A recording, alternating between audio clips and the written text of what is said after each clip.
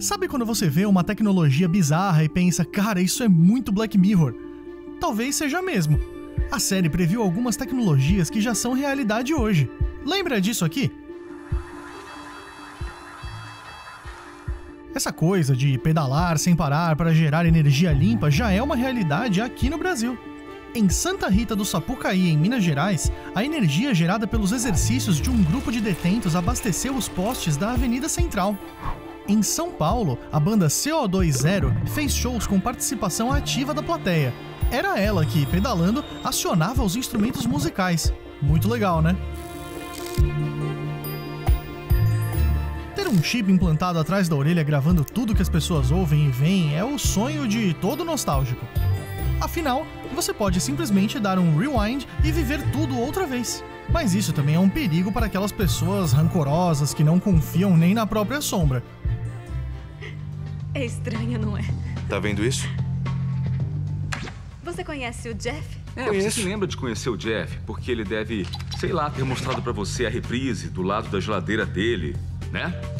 Vai vendo, no mundo real, a empresa Neuralink, fundada por Elon Musk, criou um microchip que liga o nosso cérebro a computadores.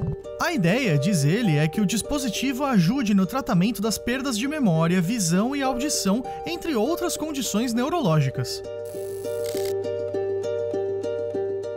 E aquele episódio com Miley Cyrus, hein? A trama é sobre uma cantora teen de sucesso que se rebela contra a empresária, é envenenada por ela e entra em coma. E aí vem a parte da tecnologia que dá aquele medinho. Tinha centenas de horas de gravações da voz dela, todas as vogais e sílabas que usamos para criar a voz das bonecas Ashley 2.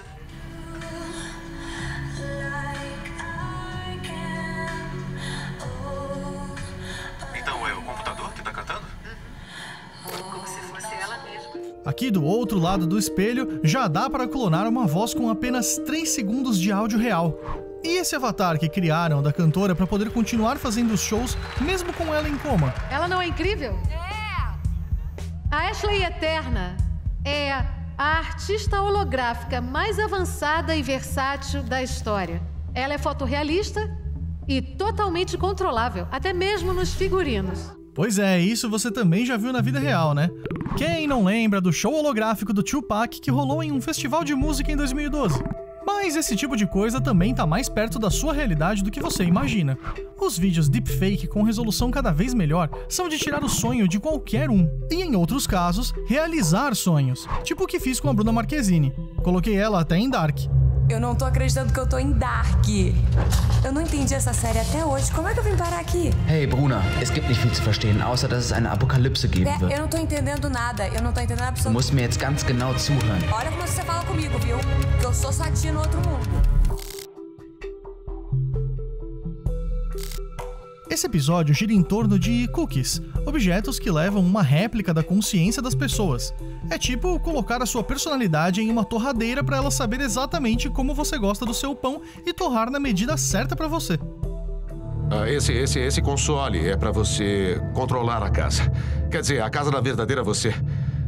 Olha, eh, como gosta das suas torradas? Oi? Como? Como gosta das torradas? É, clarinhas, não torradas demais. Certo, perfeito. Pensa em como gosta delas. Aí é só apertar o botão. Viu? Isso não te lembra muito a internet das coisas? Conceito é basicamente o mesmo. É uma rede de internet para eletrodomésticos, com todos conectados e conversando entre si, capazes de memorizar comandos. Tipo, a hora que você acorda, a torradeira já liga, pronta para aquecer o seu pãozinho. E deixa eu te contar que a internet das coisas possui uma rede bem grande. Existem 25 bilhões de objetos conectados no mundo que fazem muito mais do que a torrada perfeita. A internet das coisas tem revolucionado a medicina, agricultura e ecologia, entre outras áreas. Nesse episódio, todo mundo se dá notas o tempo todo em um aplicativo. Quanto mais em alta a pessoa estiver, melhor vai ser o seu estilo de vida. Ganhando carros e casas de luxo.